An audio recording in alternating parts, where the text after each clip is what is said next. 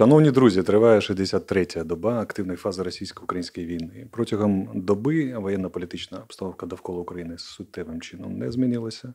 Наші війська проводять стратегічну оборонну операцію. Е, Головні напрямки зосередження зусиль російських загарбників це зона ООС, е, напрямку на Слов'янськ-Краматорськ, е, це Маріуполь, де вони продовжують намагатися знищити наших захисників Азовсталі, але це їм не вдається. І як ми бачимо, наша дипломатія, президент України Володимир Зеленський, глава офісу, працюють над тим, щоб міжнародна гуманітарна організація і е, країни-партнери е, примусили Володимира Путіна е, для того, щоб президента Російської Федерації, для того, щоб звільнити наших людей, які знаходяться в оточенні в Азовсталі. По-перше, це цивільні, але ми працюємо над тим, щоб евакувати і наших військових. Ворог продовжує намагатися вийти на кордони також Херсонської області. Йому це не вдається, тому що завдяки гарному сполученню, дуже ефективному наших розвідувальних засобів, а також засобів ураження, авіації, артилерії, ми наносимо вправні і дуже вдалі удари по містам скупчення противника, по їх його командним пунктам, по, е, боєпри... по складах боєприпасах, що ефективно дозволяє зривати йому темпи наступу, уповільнювати їх, а на деяких ділянках зупиняти.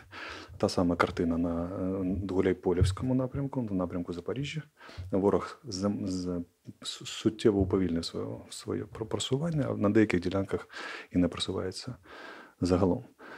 Е, Загальні втрати ворога за, на цю добу становлять особливо, особового складу 22 тисячі 400 в- в- загинувших російських військовослужбовців, танків 939 одиниць, бойових броньованих машин на 20 2342 одиниці, артилерійських систем 421 одиниця, реактивних систем залпового вогню 149 одиниць, засобів ППО 71 одиниця, літаків 185 одиниць, гелікоптерів 155 одиниць, автомобільної техніки 1666 одиниць, кораблів катерів 8 одиниць, але дехто каже, що вже 9 одиниць після сьогоднішньої ночі. Ця інформація потребує уточнення.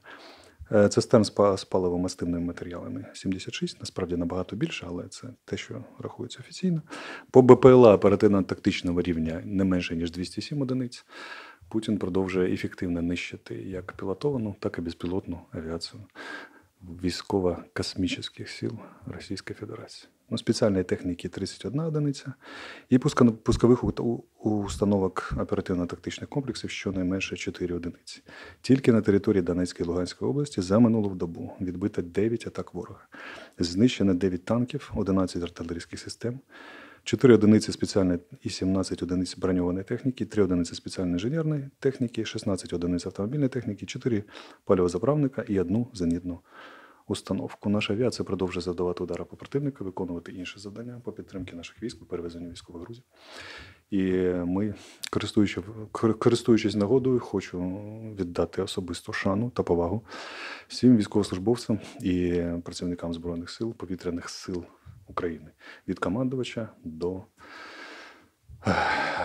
до солдата. Тому що ви справжні герої. Я нагадаю, що провідні експерти військового світу давали повітряним силам три години на існування, навіть ті, які дуже були оптимістично налаштовані. Але на 63-ю добу наша авіація продовжує наносити нищівних ударів по противнику, і це е, подвиг, який буду вивчати в усіх військових академіях світу. Навіть я, людина військова, не до кінця розумію, як наші це роблять, але вони роблять таке і набагато більше. Віримо в ЗСУ, віримо в нашу перемогу і до наступних повідомлень.